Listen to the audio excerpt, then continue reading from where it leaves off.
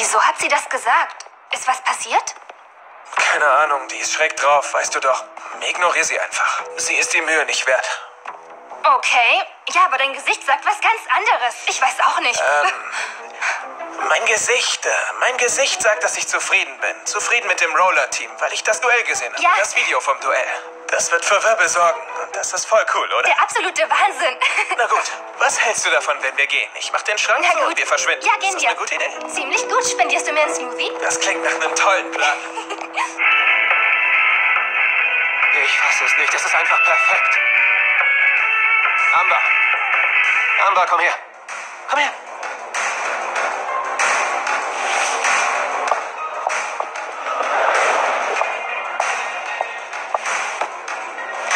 Ich höre. Jeder, der sich dieses Video ansieht, sieht, wie das Roller-Team euch besiegt hat. Wie konntet ihr euch nur so demütigen lassen? Wir haben uns nicht demütigen lassen. Sie wissen genau, dass wir viel besser sind als die. Das Video ist geschnitten. Das ist doch offensichtlich. Mir reicht's. Schluss mit den Ausreden. Euch rausreden, ist das das Einzige, was ihr könnt? Zuerst die Sache mit José Fourbi, der euretwegen gekündigt hat. Und jetzt das, ihr lasst euch vom Roller-Team besiegen. Ich dachte, ihr werdet Gewinner, Amber. Sie haben richtig gedacht. Wir sind Gewinner. Tja, davon merke ich nichts.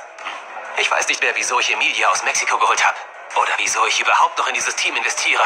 Das ist doch ein Verliererteam. Wir sind keine Verlierer und ich erlaube Ihnen nicht, sowas über uns zu sagen. Wir beweisen Ihnen das Gegenteil. Zunächst gefällt mir dein Ton nicht. Lach nicht, mir gefällt deine Haltung. Und ich vertraue euch. Nur, Amber, ich verliere langsam die Geduld. Was wird das?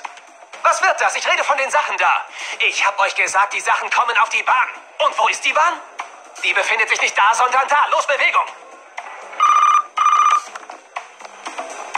Hallo?